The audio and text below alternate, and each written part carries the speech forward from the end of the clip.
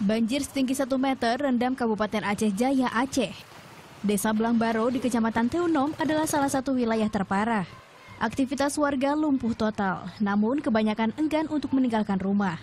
tempat mengungsi pun tidak ada sini karena kami ini semuanya mulai mulai kampung sampai ke kampung tenggelam semua tuh. Dia nggak tahu mengungsi ke mana ya. Nah, kalau misalnya suruh mengungsi kami pergi ke gunung, jadi ja- jauh perjalanannya itu.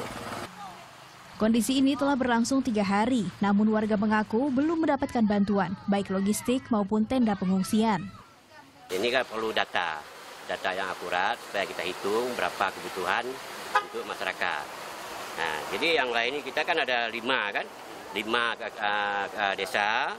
Yang paling parah Pulau Tinggi, selanjutnya Pasi Tebe, Tui Kareng, Tui uh, Tui Pria, Lok Guci.